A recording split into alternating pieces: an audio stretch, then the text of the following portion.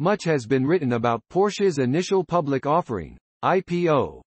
I offer another take, but I will not tell you whether to buy or not. It is not my specialty. What I am going to tell you is an automotive success story seldom mentioned anywhere else. And that story is the basis for a good benchmark in the industry.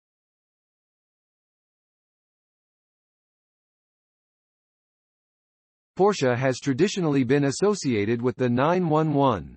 The brand has been selling this sports car since 1964 and while it continues to be an icon, many things have happened within the company.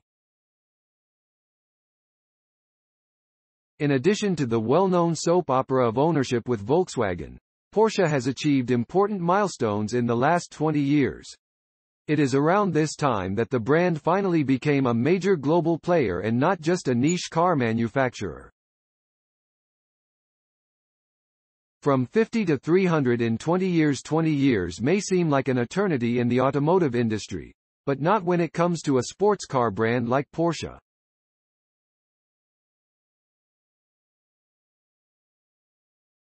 The German company managed to go from sales of around 50,000 units per year in 1999 to just over 300,000 units in 2021. Their global volume dropped only twice between 2002 and 2021. In 2008, when the financial crisis hit the American economy and in 2020, when the pandemic forced the closure of dealerships.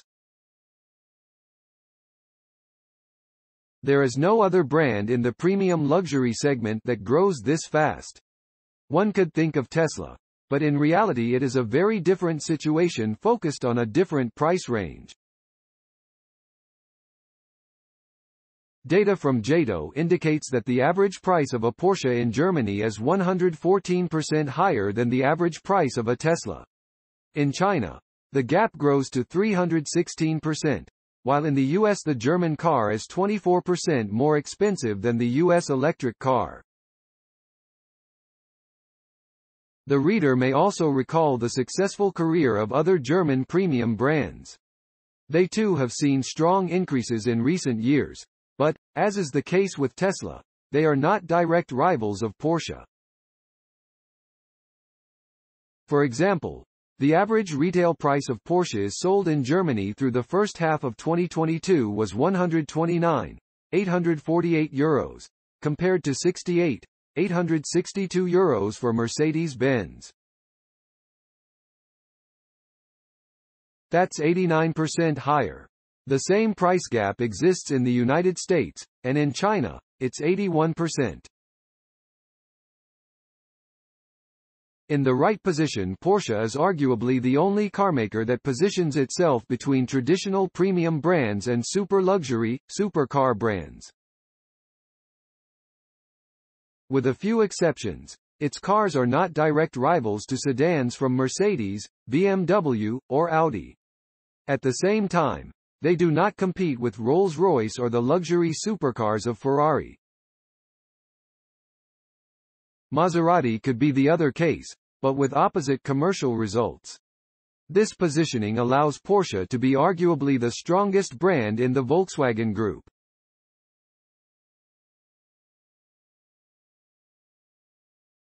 It is an aspirational and exclusive brand, but without being a niche brand.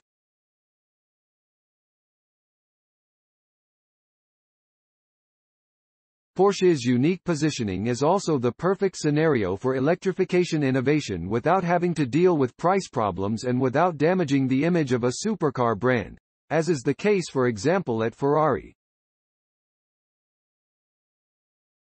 The brand's customers are not as sensitive to the cost of electrification as those of Audi, BMW and Mercedes and, at the same time, they are not as addicted to gasoline as Ferrari's customers.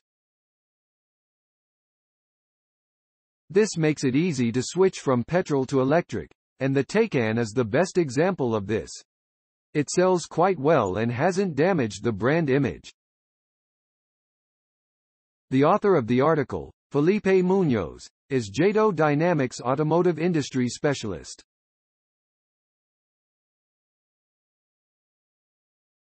Thanks for watching. Credits to www.motor1.com and Spy Build LLC.